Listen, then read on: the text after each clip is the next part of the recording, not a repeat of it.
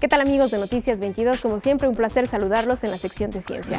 Gloppy es un guante de tela con sensores que permiten medir la proximidad de los objetos y tiene como objetivo ayudar a las personas débiles visuales a prevenir accidentes. Los alumnos del Tecnológico de Monterrey que desarrollaron este proyecto nos explican cómo funciona.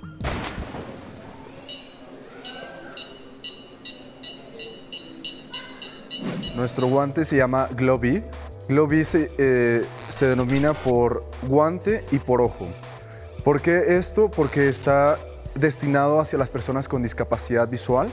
Este guante contiene un sensor ultrasónico que estos sensores funcionan, que al, momento emiten una onda sonora y lo que ellos hacen es contar el tiempo en lo que regresa esa onda sonora y a través de esa fórmula que se hace mide la distancia en que se encuentra un objeto.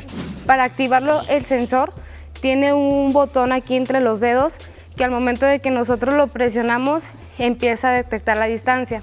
Entonces tú tienes un objeto y si lo pones activas tu, tu guante, tu sensor y ahí empieza a detectar. Y entre más cerca la rapidez empieza a aumentar. Y si lo alejas se empieza a hacer menos rápido.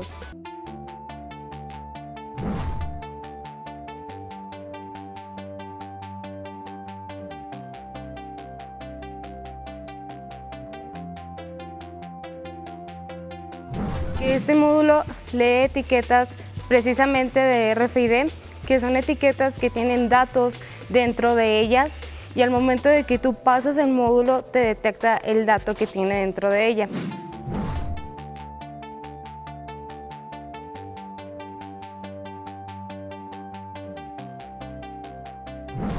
Nosotros hemos pensado en mejorarlo y como sabemos la tecnología día a día va cambiando, entonces nuestra idea es que de acuerdo con la tecnología y las necesidades que estas personas con la discapacidad visual tengan, lo vamos a ir adaptando. También estamos pensando en buscar la patente, estamos este, dándole seguimiento a esa inclusión que pues hasta ahora no existe como tal y pues ayudaríamos mucho a esas personas.